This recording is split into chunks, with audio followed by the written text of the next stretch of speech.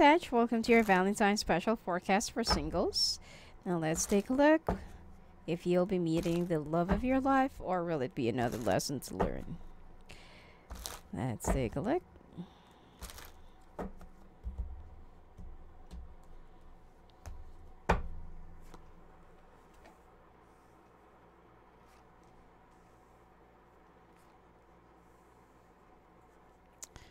Well, be very careful with the people that you'll be meeting.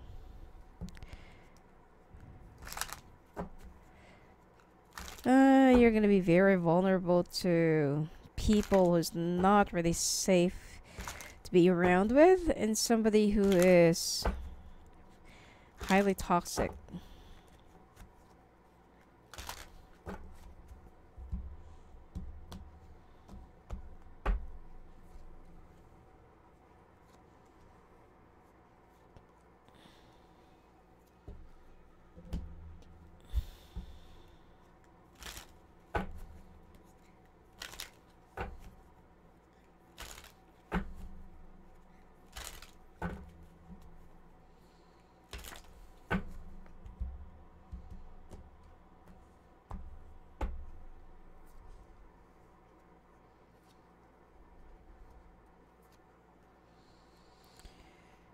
Well, Sag, it seems like you're gonna be meeting somebody who just wanted to have sex and nothing more and nothing less. Uh, be very careful. I feel like the person that you're gonna be meeting has a. Well, they are twins, but the other person is. Uh, I feel like they're already settled. Well, the, the while the person that you're gonna be meeting is some someone who's still looking. Uh, just be very careful, cause um you might meet uh, someone who cannot be trusted as well. Okay, let's take a look at the clarifications on that. This is going to be one of your clients or one of your associates. I don't feel like this is somebody that you're working with. This is just connected to your work. And be very careful because it might just create a very unusual reputation to you around your workplace. Okay? And be very careful about that. All right. You and your friends or you and your work colleagues will be going out on a party or will be going out on a celebration on the the day itself like 14th onwards or 13th and uh, I feel like this is where you're going to be meeting this other guy Okay. Uh, he is a mixture. Well, he or she. Okay, it's a mix. It's a mixture of earth, air, and fire. All right. Well, uh, they're single. I'm not seeing anything that you know that they are married or already committed, but it seems like they are really single. But the thing here is, I don't feel like this person will be taking you seriously, so don't expect, okay, that this whole sexual thing or fling will will um bridge down into a relationship. And this person is also a trickster. Okay? And you're going to know the real colors of this person once you well go out the second or third time because uh, whatever that they'll be claiming at the first night of your meeting it will be changing gradually at the second and third meeting or second and third date and this person has a very weird and different fetish. And uh, they are very paranoid about using a protection because they don't want to have a child. And they love putting up a show. Yeah, that's weird. You know, it's like uh,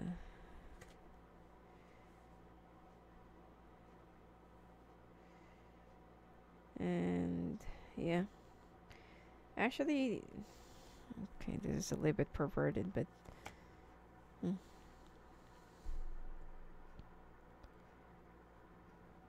They may appear very ideal. Well, you know, I mean, when it comes to their finances or when it comes to their career or job, they're um, they they they look very decent and they're also educated. But it seems like something is wrong with this person because they um get more into it, okay? Or they love it more when someone is watching, or they love putting up a show, like what I said. So be very careful about this and being manipulated into something that you don't want to happen or have, because you might just create an instant reputation because of this person. And even if they are very good looking, charming, sweet, and they have very sculptured body, um, don't really fall for it. It seems like this person already have a history with their uh, relationships, even in the past. Now, there is another person that you will be meeting, which is an older fire sign, and this is still around your workplace. Okay? And this, I feel like even though they already have two children, they're still single. Either they're a single father or they're divorced or a widower. Okay? I don't see anybody else in their life except that they're they're also looking for love. So with this other person that you're gonna be meeting, which is just around your age, if you can, you know, just try to discard it and don't try to even consider this person. But the person that you're going to be meeting, but this will be around 17th to 16th or towards, it, it will be right after Valentine's, that this person will be asking you out or will be um, sending you some, you know, some signs or uh, they are going to be letting you know that they like you. Okay, but that will be right around um, towards the end of the month. And this is the most ideal person, more likely a very happy, family oriented and a good provider. Okay, so might as well just go for this one. And I feel like you also like this person. It's just that you don't know that this person also likes you back. Um, they're just trying to, you know, do what's right and not to get dragged down into a controversy or scandal. That's why they're keeping their distance from you because the two of you work in the same area or in the same department or same company and that is really against your policies okay? That's why this person cannot really take a step forward. But they've been looking into your way for like a long period of time already. All right hmm.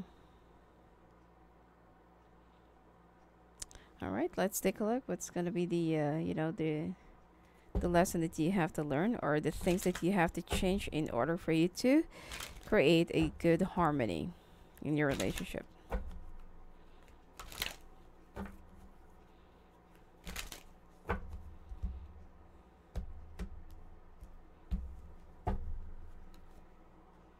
Fearlessness, blame, perspective, shift. Okay. Now you need to not really listen to your fears. But when the person seems too smooth, almost too good to be true, you have to use your instincts, okay?